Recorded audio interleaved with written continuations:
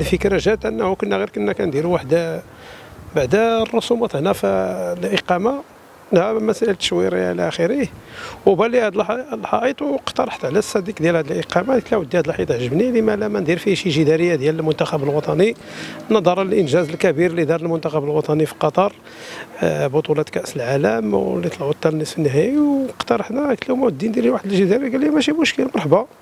وتعاونوا معنا وجابوا لنا السلعه والصباغه والمسائل بديت ورسمت هاد اللاعبين هادو هاد اللاعبين اللي كتشوفوا دابا في الجداريه تبارك الله اللي بصموا واحد البصمه كبيرة في, المو في المونديال. آه وشرفوا الكرة الوطنية وشرفوا العرب وشرفوا إفريقيا عامة وشرفونا كذلك حنا كمغاربة. آه كي تشوفوا معنا كاين هنا والد الركراكي كاين كاين بوفال كاين اوناحي كاين زياش كاين النصيري كاين الحارس ديال المنتخب بونو.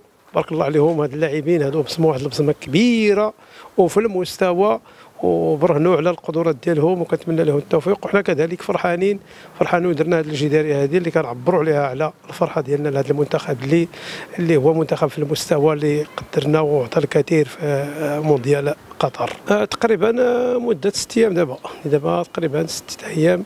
نظرنا كنجيو كنخدموا هنا ولكن فاش كيتقرب وقت الماتش كنخليو الخدمة كنجريو ثاني هذا الماتش باش نتفرجوا ثاني نشجعوا المنتخب. وراه كنحتفلوا هنا. إن شاء الله النهايه الجدارية راه غنديروا واحد الحفل هنايا. حفل إن شاء الله بهذا الإنجاز العظيم اللي داروا المنتخب الوطني المغربي. باقي خدامين صافي. إلا مسات الاخيره كيبان لي راه كيبان بقات لنا غير واحد التسمية ديال الأسود الأطلس غادي نكتبوها في الفوق. وغادي نكتبوا تما شكرا لكم وسط الأطلس لأنه هذا الشيء اللي داروا راه شي حاجة كبيرة ما كناش كنحلموا بها. كيحلموا بها لا المنتخبات العربية ولا الأفريقية. راه تبارك الله راه بصموا واحد البصمة راه راه من 86 ما فرحنا هذه الفرحة هذه راه 86 راه الدور ديال المجموعات.